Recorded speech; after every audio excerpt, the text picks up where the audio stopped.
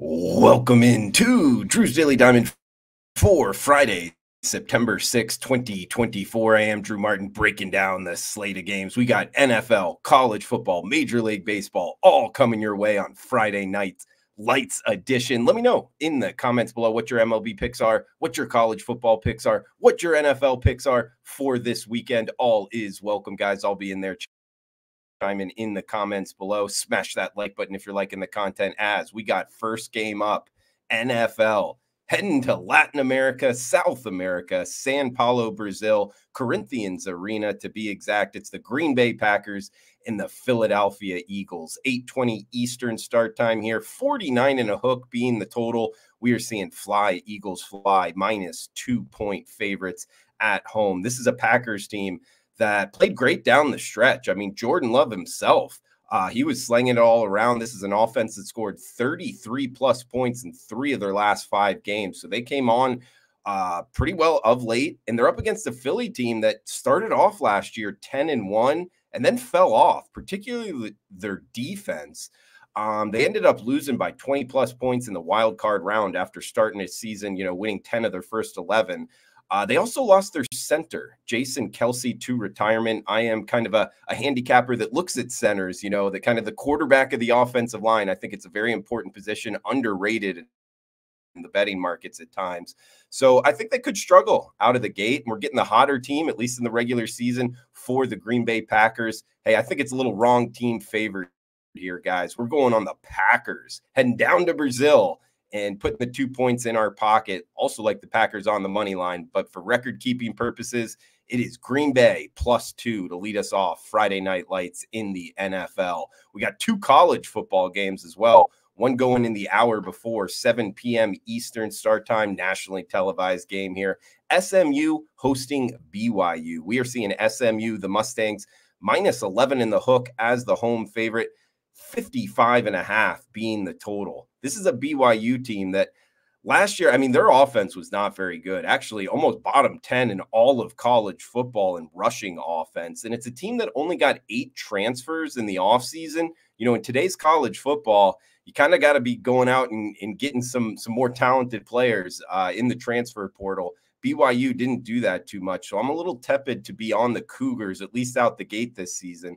SMU, we saw them in week zero, you know, kind of a singled out late night nightcap against Nevada. They went on the road to Reno, to Reno, Nevada, and did not look good against the University of Nevada. But I almost think it could kind of set them up for, you know, power ratings, a lot of people being down on them. Um, at least the way that's the way I'm kind of handicapping this. They came back in week one, their second game. They're 2 and 0 right now, and really stomped the FCS opponent. Their head coach, Rhett Lashlee, he's a Gus Malzahn disciple. That's how he came up in the coaching ranks. And one thing I'll tell you about like th- this type of coach, when they get it their opponent down, they'll really run up the score. And it, it almost shows in it does show in his statistics. I mean, last year he was 6 and 0 at home, 5 and 1 against the spread at home. And also, this is even more important 7 and 0 against the spread, the last seven non conference home games when they were the favorite, meaning, you know, they're playing out a conference against the team they're favored against, and they're they're they're winning by more than the odds makers are kind of pricing them at. They're a top 15 team in total defense and offense last year, and they returned 15 starters across the board. Their quarterback room, this is something I like, this type of profile. They get they, they have a highly rated quarterback in Preston Stone, and he's kind of being pushed to the limit by uh, the other quarterback, Jennings. I like that, particularly when you're favored because you're likely going to be throwing the ball around with both of them. Um, and SMU's at home. You know, talking about them struggling against Nevada. Well, they're home here, and it's a fast track field turf. They got a lot of speed on offense. I think that helps them out a lot. So overall, guys, I know a lot of people like in BYU looking towards the dog on Friday night lights. I don't see it though. I think SMU kind of takes it to him here and wins by, you know, 20-ish points. I'd lay the 11 in a hook here with the Mustangs. We got uh, kind of a doubleheader. It is a doubleheader in college football. With the next matchup, 9 p.m. Eastern time, it's the Duke Blue Devils up against the Northwestern Wildcats. Minus two, that's Northwestern at home, 37 and a hook being the total. high IQ matchup here with Duke coming in. They struggled against Elon, against the Phoenix. It was a tough game. They their offense did not look good at all. Their head coach Manny Diaz, he's a defensive minded guy. We'll see if he can turn it around offensively. I, I don't really see it happening though against the Northwestern team. This is this looks like a pretty strong bunch here under head coach David Braun, who's now six and one against the spread at home. Um, I'll also tell you this was surprising doing research here. I forgot about this last year. Northwestern really came on uh, uh at the end of last year. They're actually on an 8 0 against the spread run. So, one of the most profitable teams in college football coming in, if you kind of go back to last season. They're also on a 5 0 straight up run, which last year that includes beating Utah in the bowl game.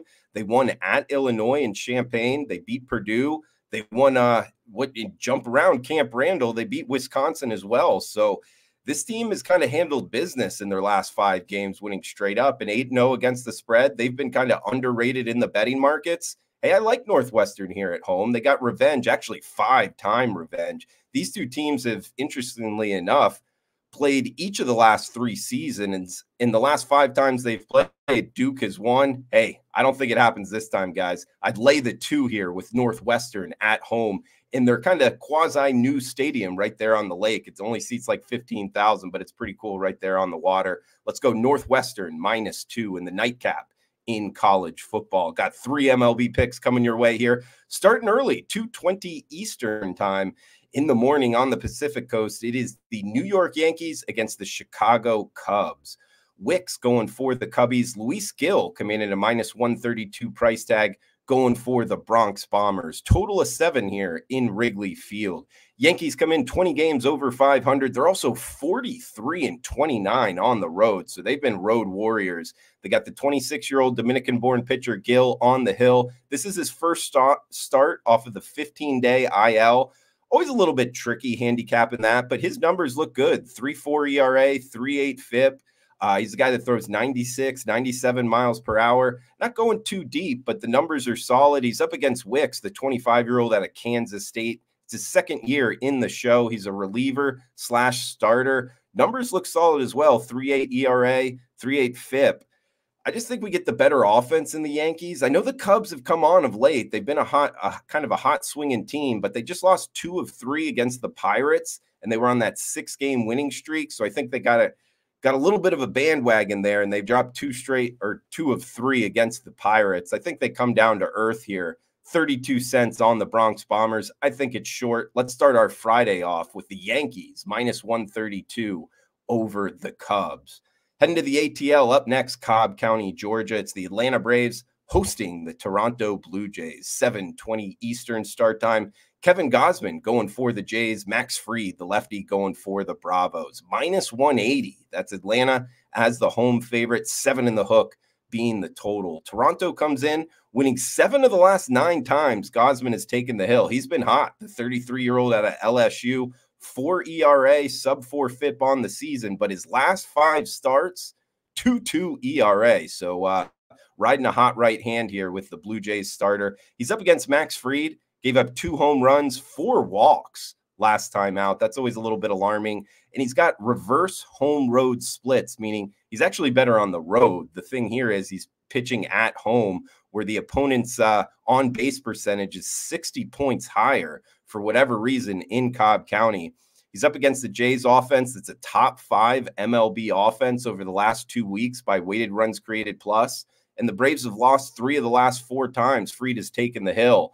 All of that, guys. I mean, 80 cents on the Braves. That's a pretty heavy favorite. Hey, let's take a swing here with the Blue Jays plus 155. Risk 100 to win 155 with the big dog. Toronto Blue Jays over the Atlanta Braves. Got one game left, guys. A reminder if you could comment below, it helps out the algorithm. Anything is welcome. What you're looking to bet, where you agree, where you disagree. And if you can smash that like button, that helps helps out as well. If you're interested in premium picks, check them out. Wagertalk.com, college football, NFL, Major League Baseball. Drew Martin experts page there, wagertalk.com. Last game, we're heading to Houston, Texas for the Arizona Diamondbacks and Houston Astros. Framber Valdez, the lefty, on the hill for the Stros. Brandon Pfaadt going for the D backs. Total of eight. Houston minus 160 home favorites. This is a Houston Astros team that, yes, is 10 games over 500, but you got to remember these money line sports, betting baseball, they're minus seven units on the season. They just got swept against the Cincinnati Reds, losing three straight, losing four and a half units because they were the favorite in every game. Now we're asking them to lay minus 160 again. I don't know. I know the market loves Framber Valdez, just a 311 ERA. But when you look at his strength of schedule, I mean, it's not very daunting, you know, pitching in the NL West. He, he's pitched against a lot of like bottom 10 MLB lineups. When you look at the Orioles, even the Pirates hit him around a bit. So I think this Diamondbacks offense actually has a shot to put up some crooked numbers. And Brandon Pfaadt, the starter here for the D backs, his last time out, he had 10 strikeouts against the Dodgers. He's got 155 strikeouts on the season. Compare that to just 34 walks. That's a heck of a strikeout uh, walk ratio there. The 25 year old has good numbers overall. The Diamondbacks just won two of three against the San Francisco Giants, and they're 40 and 31, nine games over 500 on the road. Talked about Houston being down seven units on the season. The Diamondbacks are up double digit units, one of the more profitable teams to bet on in Major League Baseball. Also, the second hottest lineup in MLB over the last two weeks. We get a plus 140 price tag on them, risk 100 to win 140. Another big dog barking on the diamond. It's the Diamondbacks over the Astros. So, in recap, guys, we got the D backs over the Stros. We got the Blue Jays over the Braves. Two big dogs there, plus 140 on Arizona, plus 155 on Toronto. And the first game up for Friday, we're on the Yankees minus 132.